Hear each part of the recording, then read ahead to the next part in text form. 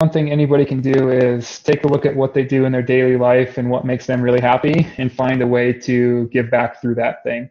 Um, so for me, it's it's volunteering at races, it's working with uh, tra- the trail building community, it's uh, volunteering whenever I can through through my community. So um, I, I, have this passion and I have this love for the sport of running, and if if I just keep it all to myself, I feel like that's a that's kind of a shame, and that's unfortunate. So you know my my greatness, I, I look at it long term is you know kind of what is my legacy in running, and if I were to to, have an unfortunate accident and die tomorrow. Like how would people remember me as as a runner and as an athlete? Would they remember me as some some asshole that just showed up the race and threw elbows and wanted to beat everybody? Or did they think of me as the guy that you know wanted to to be the nicest guy at every race wanted to shake every hand and then give back through the sport any way possible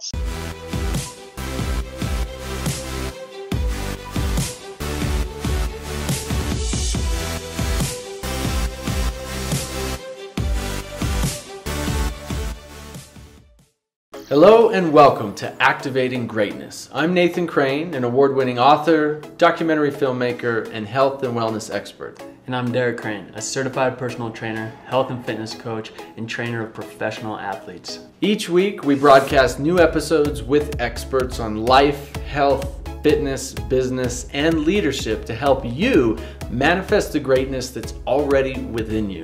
Activating Greatness is about helping you live your life to your fullest potential and live with more meaning, purpose, health, and fulfillment. In this episode, we're talking with Don Reichelt. Don is an ultra runner running multiple 100 plus mile distance races, including being on the US team at the 153 mile Spartathlon in Greece, and recently finishing what's considered the toughest foot race in the world, known as Badwater 135, in a remarkable podium finish of third place. Don's also an endurance coach and owns the company Boundless Endurance. His website is boundlessendurance.com, and you can find him on Instagram at uh, Run with Don. He's also on Facebook. You can search him there. Hey, Don, welcome to the show, man. Awesome, Nathan. Great to be here. Excited to have a chat with you. Absolutely. So last time I saw you, um, I was filming you, did an interview with you for your Badwater uh, Badwater experience, and that's on YouTube as well. I encourage everyone to take a look at that. It's an awesome little uh, snippet into some of uh, the preparation and what Don was going through, and kind of also the the after effects of uh, Badwater 135. Um, but since then, what's happened, man? You've uh, you've gotten injured, yeah? Tell us about that. Yeah, I've had a I've had an up and down season with the obviously the high being Badwater, and then uh, a couple of lingering injuries shortly after that, and then most recently in a race in December, uh, I broke my foot and my ankle, and uh, I've had a little bit of a rough go uh, recently since then, but you know that that race I, I, I, knew I, I'd either broken something or ruptured something, but I went ahead and, and finished the last uh, eight or nine miles, uh, grabbed a podium spot at that race, and then uh, head off to the to the ER to get some X-rays uh, to confirm the break. So uh, the road since since then has been interesting. Um, we can get into a little bit more, but man, I've I've learned a lot about life and running and appreciating what I had before and what I'm looking forward to, but uh, you know, as as of this conversation we're having right now, I officially got the okay yesterday to run again. So um, I, I, definitely am in, in high spirits. Nice, man. That's awesome to hear. Um, so going back a little bit, uh, I want I want you to you kind of just skimmed over that, like, yeah, I broke my foot, and then I finished the last eight or nine miles in podium. Hang on a second. So what? So what happened there? So what? What race was this? How far were you running? And and what sure. happened? Sure. So it's a race. It was a race here in Colorado. It was in Golden, Colorado, called the the Sawmill. Um, it's uh, two two distances: a 17 mile race and a uh, a two lap 17, so a 55k ish race, um, 34 or so miles. And I was technically doing the two laps, um, but unfortunately I had my injury in the first lap. But they let you, if you finish one lap, you, you're considered a finisher in that first lap. So um, I went ahead and pulled the plug after the first lap, and I happened to end up in the top. Uh, I think I think I ended up in second in that race, uh, which I wasn't even racing. But man, I was I was cruising in that 55k, and I was uh, uh, I was pretty out front, having my little my little uh, accident, and um, yeah, as soon as I did it, I was just severe pain, knowing that What'd you do? Here's, just roll your ankle and yeah, I was, I was, I was, I was coming downhill pretty hard and a corner, and uh, I I stepped on a rock weird, and my foot actually rolled like up over itself. Um, so I I had an avulsion fracture of the cuboid, which basically is just uh, um, the bone pulled off, and then uh, it also broke the head of the talar, so the, the head of the talus, and um, yeah, not a, not a fun combination to have, but it's it's a trail race, so you know, it might sound awesome that I, you know, had to persevere through finishing and wanted to, but realistically, I was in the middle of the woods with nowhere to go. So uh, my options were to walk a handful of miles to the next aid station or just keep running uh, through a little bit of pain and finish. So uh, being the hard-headed runner that I am, I decided just to keep running through the finish and uh, drop at the 17, and just so happened that I was up, in the podium position in that shorter race too. So what uh, what do you think has been the biggest takeaway for you from this injury so far? Right. So you know, first first and foremost, I haven't really taken any time off of running in four years. Um, it's it's been kind of my my main activity. It's my out. It's my meditation. So this is the first time I've had a chance to not run uh, forcefully in a long time, and it's it's afforded me the opportunity to. Uh, kind of pay attention to my life a little bit better and, and notice things that I hadn't been noticing and ultimately remember why I loved running so much. Uh, fast rewind back two months ago, I was I was signing up for the next race. I was doing my next run just because I was like, oh, I got to this level, I can't lose it. I have to keep going. I I uh, I need to to keep moving and, and I can't stop. And and it got to the point where my only motivation to keep running was success and results and Instagram and it wasn't for me anymore. So forcing myself to stop. Um, I, I've slowly over the past two months of not running remembered why I love the sport of running and why I participated. And it became more about I want to get back to running for me, not because of podiums and Instagram and, and things like that. It's it, it's purely back for the love of running, and I missed it more and more. And the other aspect of that is, you know, I feel like um, I I became a better husband. I became a better partner around the house. I, I had before we would eat dinner and then I'd be, oh, I can't help clean. I need to go run. Um, and it, it, had become an excuse for me to get out of out of responsibilities. And now, now I didn't have it, and I realized how important it was for me to start doing that stuff more. So uh, it's definitely, you know, made me become a better husband and, and brought me closer to my wife, uh, and also relit that fire for me to run again. It's awesome that you've become aware of those things like so quickly. You know, oftentimes people take injury after injury after injury and things get worse and worse and worse before like some of those, you know, life conscious awakening uh, awarenesses happen, right? It goes, wow, this this injury is actually right. helping me become a better person. And then the key, obviously, is to continue those new habits and practices and things we learn during that experience after that experience as well right so yeah yeah absolutely to our lives as we get back into you know the yep. training and the the many many miles a week that you're putting. yeah it's it's going to be going forward about how i you know I've, I've definitely learned a lot over the past few months and it's about you know applying these new lessons to my life both personally and then taking what i've learned and and using it to become a better runner uh, because I've on top of the the personal things that I've learned and I think I've, I've developed on, I've I've also started going to just a kick-ass physical therapist who's helped me highlight some some physical weaknesses that I've been kind of running through and didn't even notice they were there. Um, perfect example, like my glutes are really not firing at all. Um, so we're working a ton to help my glutes fire, which ultimately is going to make me a incredibly stronger runner if I'm basically I'm going to be running with a full deck instead of just uh, you know piecing together whatever muscles are working that day. So uh, I got the personal aspect that I feel like I'm going to carry off after this injury, and then also I'm I, I have this platform now to become a much better runner that I'm I'm actually pretty it's it's hard to believe I never would have said this a month ago, but I'm pretty incredibly grateful for the opportunity that I wouldn't have taken on my own that I was forced to take through this injury. Yeah, that's awesome, man. That uh, that that's just how much you're already gaining from from this experience. You know, going back to like you were saying, you just kept running for years and years without taking a lot of time off. I know um, in a lot of professional sports, you'll have an on season and an off season, right? Mm-hmm. And like CrossFit, for example, which is something I do daily, and uh, you know my goals are, are to compete uh, in CrossFit in the next couple of years. And I know you know you kind of build up a season over the year, and then you've got you know the CrossFit Games are kind of like the Super Bowl championship, and then most athletes at that point, um, you know, are taking a couple weeks off, sometimes even a month off, and not doing much, right? More just light recovery stuff because like you know you're putting so much time and mm. training into uh, you know pounding the body and the mind too you know that like that few weeks or that month at the end of the season is like one of the most rejuvenating things you can do.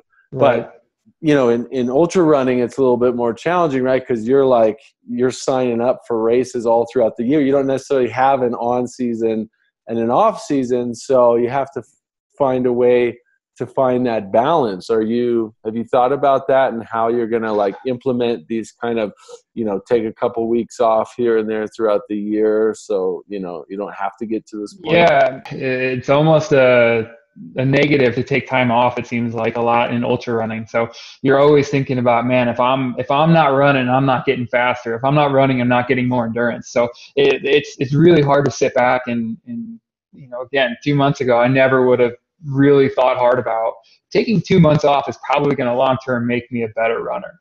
Um, and it's just learning the importance of that and now really understanding uh, how good it is to let your body truly recover. Because if you're going from a 100 mile race, you might take a couple down weeks and then you jump right back into it.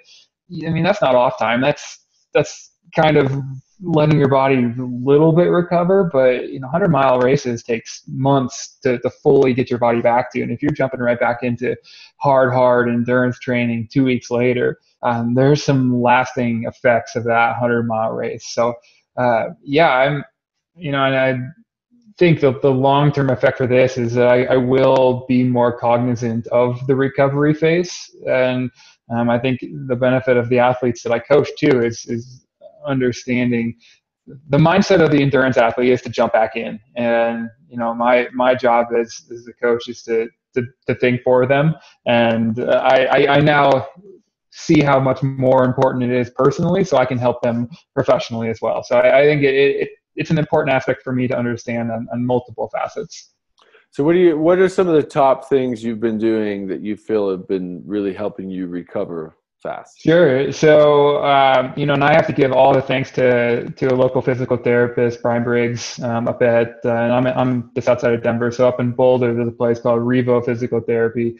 Um, I that dude knows his stuff. He primarily works with uh, athletes and things like that, and um, he's gotten me doing all this awesome stuff. We're doing something called uh, blood flow restriction, uh, which I'm not I, I, don't know if many people are aware of what it is, but it's a it's a technology that's actually taken from the military, and it started uh, with soldiers fighting for their limbs, and it's a basically it's a, a blood pressure cuff type device that you restrict blood flow to a limb, and then you work out under body weight conditions, and it replicates uh, the physiological effect of a max rep.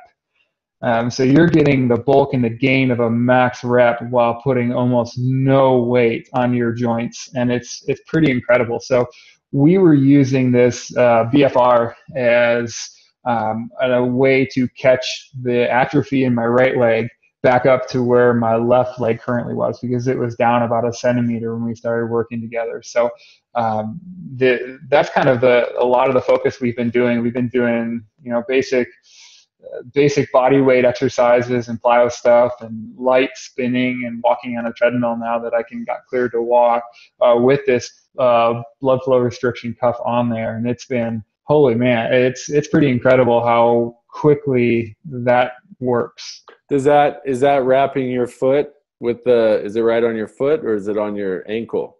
So actually, it's um, we're doing full leg. So we're putting it full up leg. in the upper upper thigh, um, and and that is basically restricting the blood flow of the entire leg. And then we're doing a lot of um, squats and lunges and uh, glute work, clamshells, and fire hydrants and things. What is like it? With, how long? How long? How long of a does a session look like with the with the restriction on?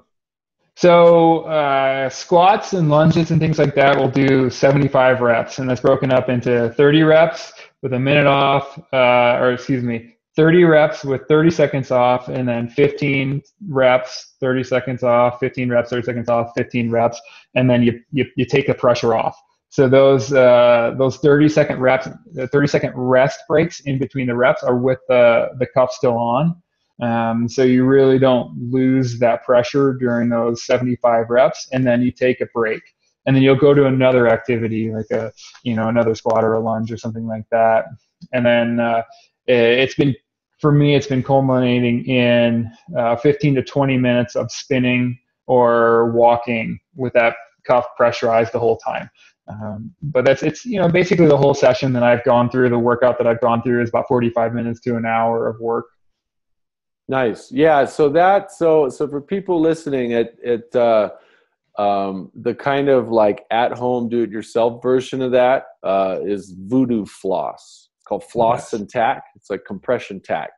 You can get Voodoo Floss like on Amazon or Rogue or anywhere. It's very common for like elite athletes as a warm up um, because of exactly what you're saying is you restrict the blood flow you do the squats you do the movements and then you take you know the floss off uh, which is basically just rubber the kind of do it yourself it's just stretchy right. rubber that you can tighten and um, and then boom all that blood just flows right back in there and it just nourishes it with nutrients and and activates the area. So it's something that it's a pre it's it's an amazing healing and recovery right. tool. And and obviously if you go to physical therapists like you're doing you know they have it pressurized at certain pressure and all that. It's good to get the guidance on it obviously if you're recovering from a serious injury. But just as a as a a warm up tool and even a recovery tool it's a really great thing. And again you know for people listening it's called voodoo floss. And uh,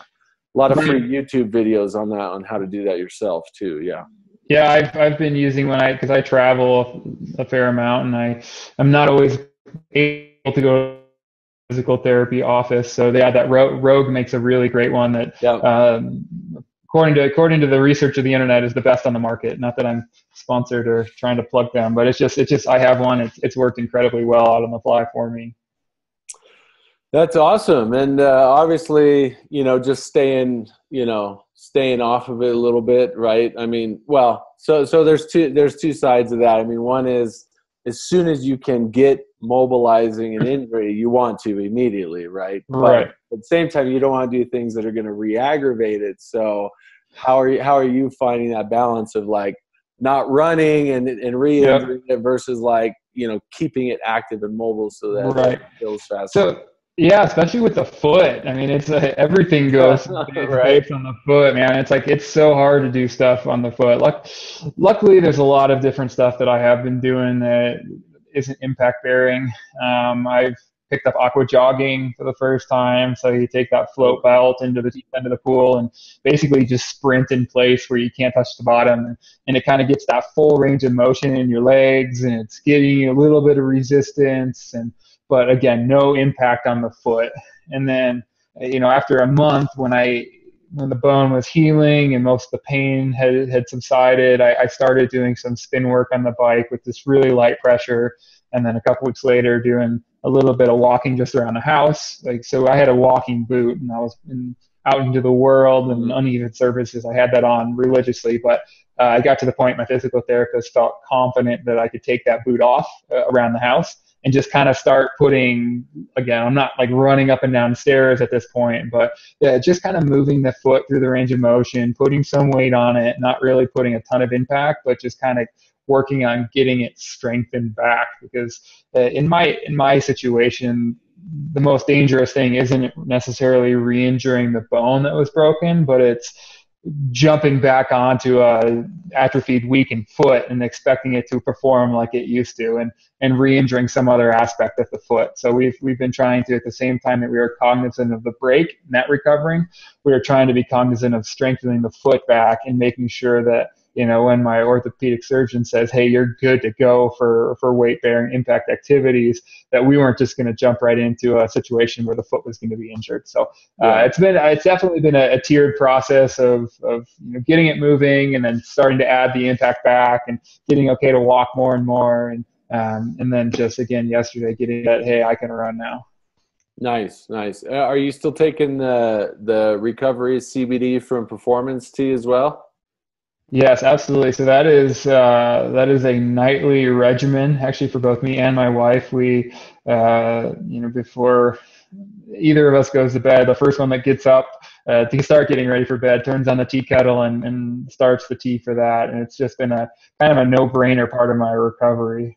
Nice, nice. So I want to talk a little bit. Um, about when you are training, you're building up to, let's say, a 100 mile race. What does that look like? What does your training schedule look like? How many miles a week are you putting in? What kind of cycle are you? Is it like a three or four month cycle, and are you building up over that time? Like, like walk us through what what that normal training looks like.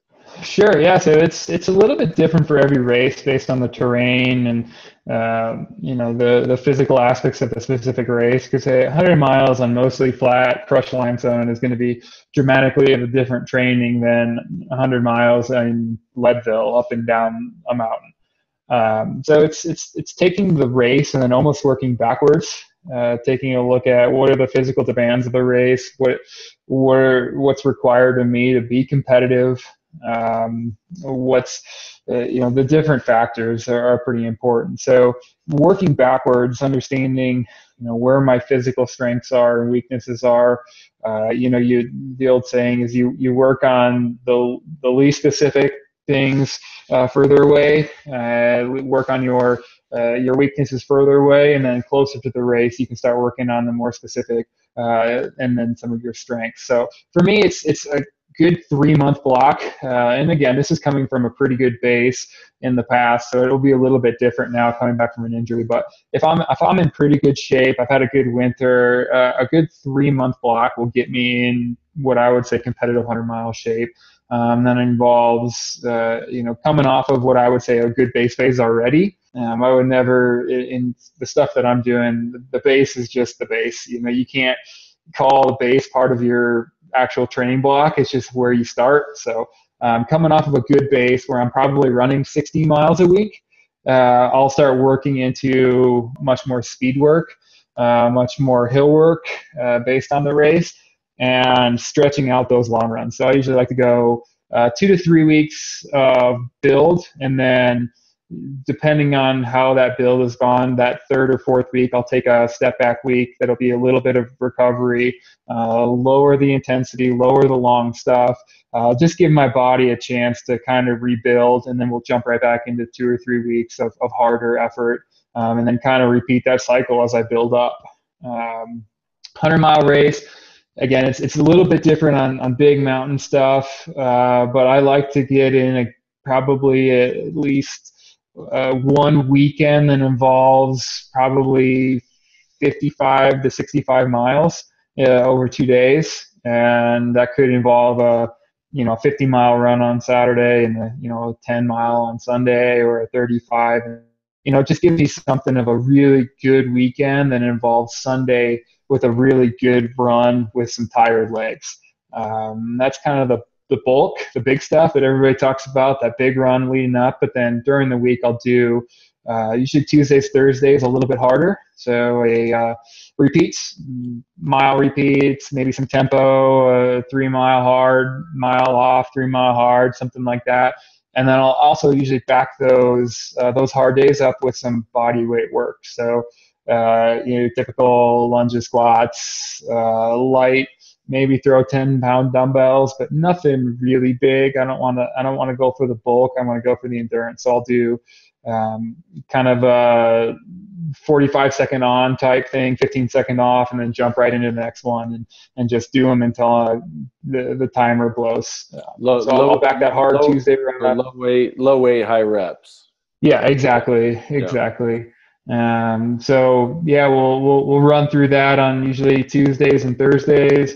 Uh, Wednesday is kind of a wild card day. Maybe I'll bike. Maybe I'll do a, a, a slow midweek run. Um, and then yeah, that's kind of the bulk of it. Those are those are the three most important aspects: the, the Tuesday, Thursday, long, uh, harder stuff with some little bit of strength stuff, and then the weekends just kind of stretching myself out doing the longer stuff.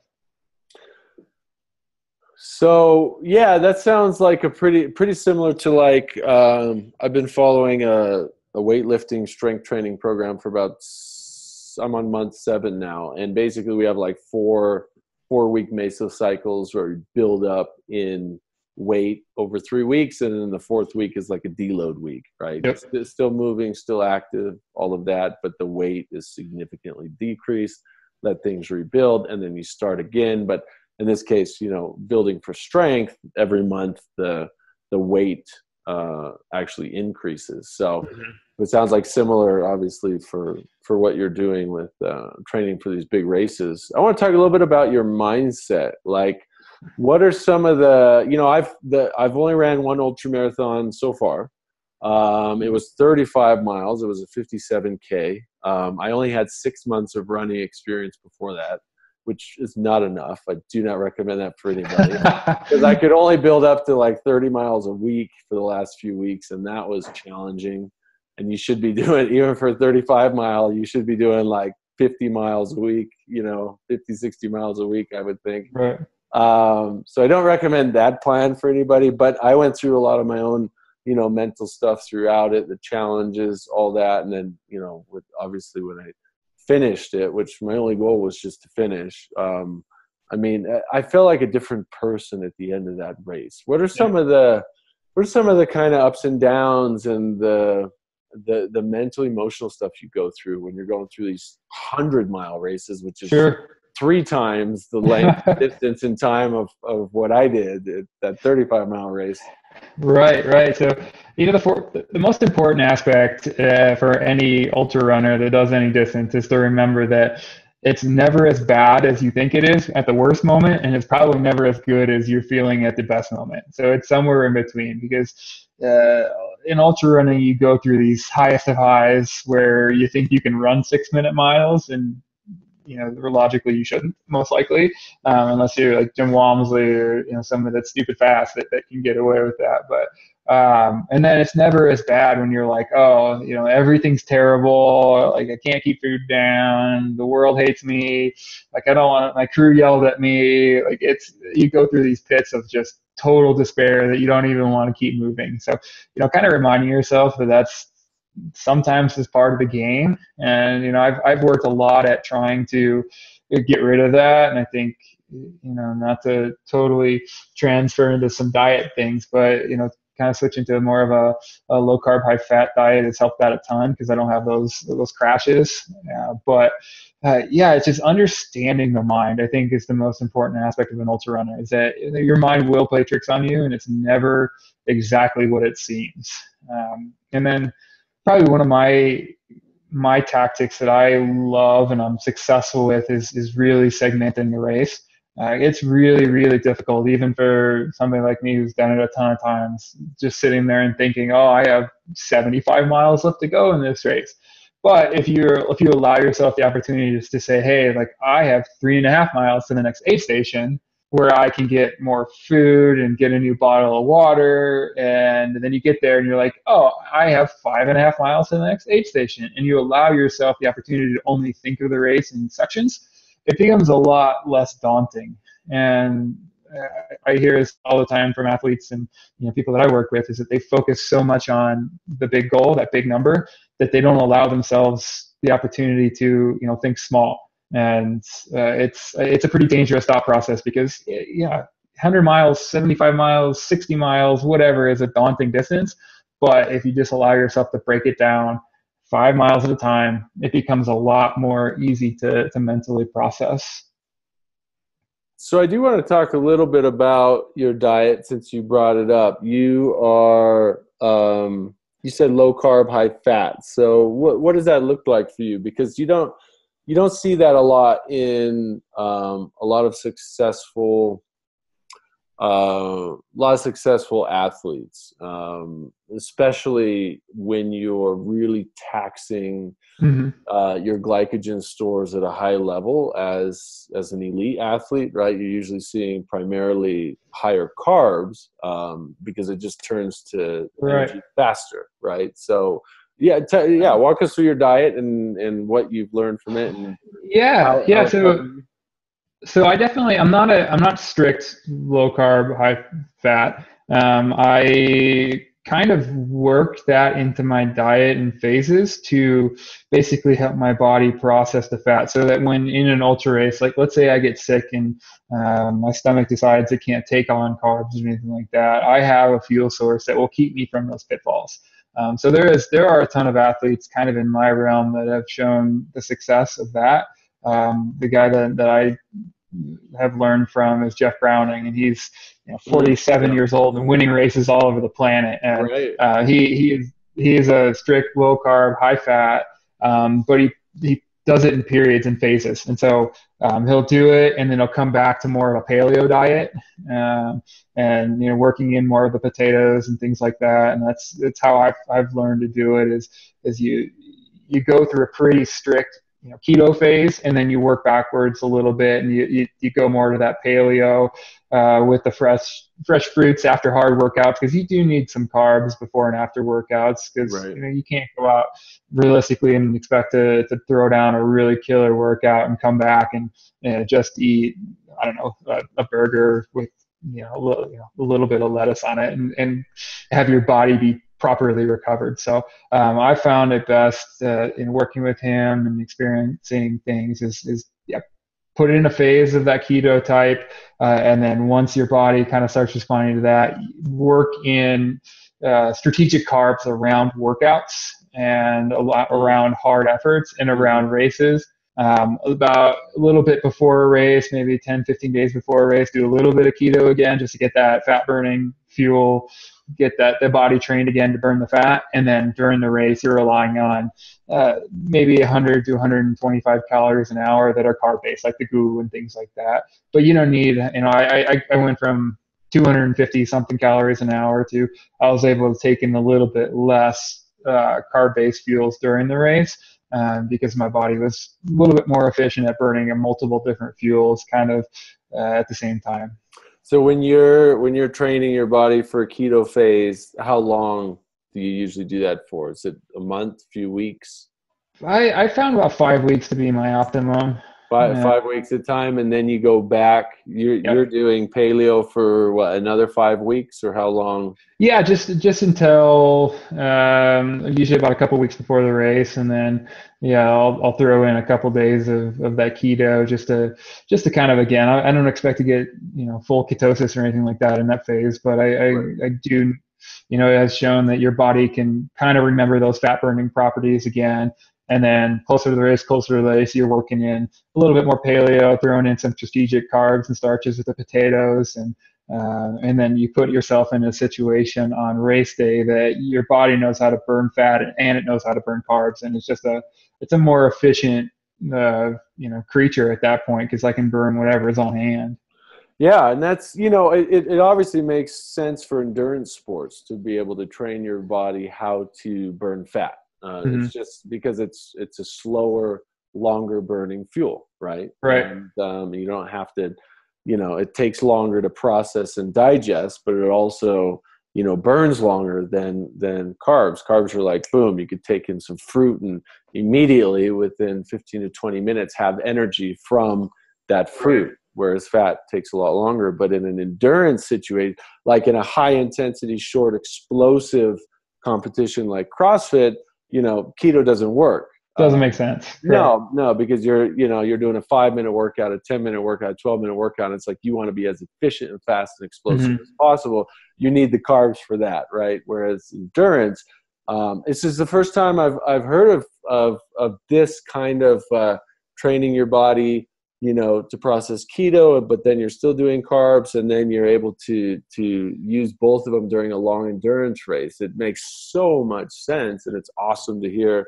yeah, it's you're having success with it. It's pretty powerful too, and I and I kind of talked about this a little bit before, but you go through those like the pits and like the high of the highs and the low of the lows, and it's like, man, imagine like mile forty, you drink some Coca Cola, like that's that's just rocket fuel, right? right? Like you're gonna be jacked up on sugar and carbs and caffeine and all this stuff, but then like if that's your only fuel, like when oh. that's when that's done, like you are you're in a dark place. Toast. And so so like kind of having some of this fat burning stuff that goes along with it is it kind of keeps the margins thin you know you're not gonna you're not gonna rely on pounding a coke and a bunch of goo and having that like totally euphoric feeling but you're also not gonna have that just total pitfall when you run out of carbs and you know you need something. So it kind of keeps you much more in the middle, uh, which me as a competitor, I'm, I'm a much more predictable runner at that point and I know what I need to do. That's awesome, man. There's a lot of insight you, you shared there, so thanks for that. Um, and uh, as we're kind of starting to wrap up a little bit here, um, boundless endurance. So, so you're a coach. Talk a little bit about what that looks like. What what athletes you're coaching, or what does your endurance coaching look like? Sure. So I um, I work with with runners primarily. Um, I've worked with everybody from 5K runners that have never gotten off the couch in their life that just want to get going, um, to people looking to get a faster time on the next hundred miler. So um, I, I, work with everybody. I love working with everybody. Where I have found my niche that I absolutely love, uh, mostly because it's bringing people into my world. It's taking people that have been uh, established as runners, but maybe at the half marathon or marathon distance, maybe they've done a triathlon or two, but they're thinking about their first ultra. They're they're kind of thinking like, how do I get into this sport? What do I need to do? Because you know I can talk to you all day about there's so much stuff, and I'm sure you stumbled upon some things in your 35 miler that like until you know it, you just don't know it about ultra. And that's yeah. one of the most fun things for me is talking about these athletes that that you know they've they've run a half marathon or two, but they want to do a 50 miler, and it's like here's all the stuff that you need to learn. So for me, it's a lot more than just uh, you know, here's a workout, here's some things that I'll do to be physically prepared, but it's also talking to them about like here are the things you need to do to be mentally and like product wise prepared. Like what do you need to have?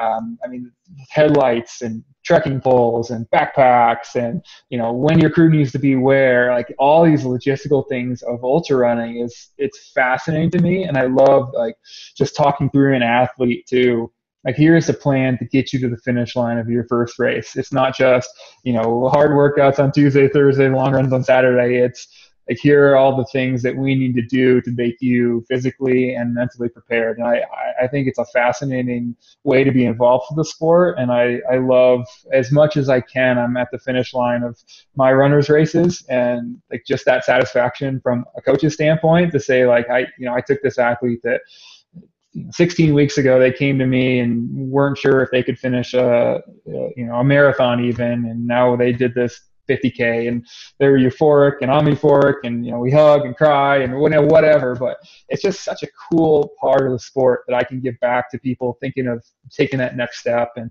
uh, man it gives me so much joy and it's it's an amazing aspect of the sport for me to be involved with.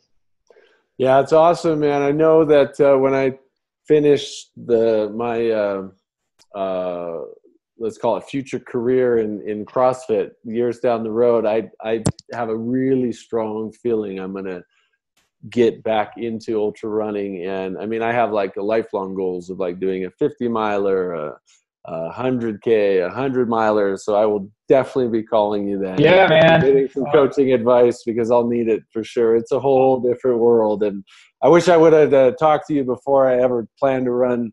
I, you know, I, I, that's just kind of how I do things. I was like, uh, rather than sign up for a half marathon or a marathon, which I'd never run before, I said, yeah. I'm going to do an ultra marathon. And, uh, and so that was the first race I ever ran in my life. And, and like, I love it. I don't recommend anybody else do that, but, but I learned a hell of a lot from it. oh man, I love it. Yeah. In, in, having a coach, I know in any sport is, uh, exactly what you need for for Mm, success. Right, and the, the advantage of a coach is, you know, one that's you know, we have the knowledge of we've been there, we've done it. It's we know what it takes to be successful, and more importantly, like what you shouldn't do to fail. Um, I think that's a lot of the aspect of coaching. Is like here are all the mistakes that I've made. Here are all the mistakes that I've seen other people make. Like let's not do that. And then you know, for me, like I I have a coach, right? I, I work with Jeff Browning and because he doesn't have a really a stake in the game like so when he sees me start to underperform he'll have that conversation like hey like i think it's time to take a step back. Whereas me as a competitor and as athletes it's go go go go go. If i'm not running i'm not getting better. And so it's it's, it's this impartial third party that i'm basically i've given my trust to him to control uh, you know what i'm doing because i know that he has my best interest in mind. And whereas, you know, it's hard for me to say like I, I, you know, even now coming back from an injury, I just want to go out and run. But I'm, I have this physical therapist, I have a coach that's saying, look, like, you know, running 20 miles today, while maybe you think you can do it and your bone can probably do it, like your, the rest of your body is going to break down. Um, so we have to do it smart. And that's, you know, I, I think all the money that I've spent on a coach in my life has been some of the, the, the best money I've, I've spent knowing that I've, I've learned a lot and I've done it the right way for the most part. Awesome. So we've got Don's uh, links in the show notes below. Check those out. Don's website is boundlessendurance.com. You can hire him as a coach. He also produces uh, running events as well. You can hire him for that. And you can find him on Instagram at Run with Don. Um, Don, final question. Uh, we ask every guest this on the show. The show is called Activating Greatness. What is one thing you would suggest people do to activate their own greatness from within? So I, I think the one thing anybody can do is take a look at what they do in their daily life and what makes them really happy, and find a way to give back through that thing. Um, so for me, it's it's volunteering at races, it's working with uh, tra- the trail building community, it's uh, volunteering whenever I can through through my community. So um, I, I have this passion and I have this love for the sport of running, and if if I just keep it all to myself, I feel like that's a that's kind of a shame, and that's unfortunate. So you know my my greatness, I, I look at it long term as you know kind of what is my legacy in running, and if I were to to, to have an unfortunate accident and die tomorrow like how would people remember me as as a runner and as an athlete? Would they remember me as some some asshole that just showed up the race and threw elbows and wanted to beat everybody? Or did they think of me as the guy that you know wanted to to be the nicest guy at every race wanted to shake every hand and then give back through the sport any way possible so um, that's kind of how I think about activating greatness in myself. And I would uh, kind of extend, extend that challenge to all of your listeners to, you know, think about the thing that you love doing the most every day, uh, what, why it makes you happy, and find a way to uh, share that happiness with other people. I love it, man. That is some awesome advice right there. And uh, obviously, through giving back and supporting your community, you know, it makes you happier in life. It makes you more fulfilled, and 100%. And you get to help other people, and as you said, leave a positive legacy. So. Don, hey, thanks, brother. I'm I'm glad to hear you're healing well. I look forward to uh, hearing about some of your upcoming uh, races and adventures and different things you're doing in the future. And uh, appreciate you being on the show, man. Awesome, brother. I really appreciate it too. Can't wait till we talk again. Awesome. All right. We'll talk soon. Take care. That's it for today's episode. Our hope and desire is that you get as much out of these interviews and episodes as we do. Each week, you can count on us being here to help you activate the greatness that's already within you. And we can all do that by continuing to develop and grow our minds, bodies, emotions, and connection to a higher purpose. Please make sure to share this with your friends on Facebook, iTunes, Twitter, and Instagram. Tag Crane Factor and use the hashtag activating greatness so we can continue growing this community together and changing the world for the better. Remember, you already have greatness within you. You just need to activate it. Thanks again, and we'll talk to you on the next episode.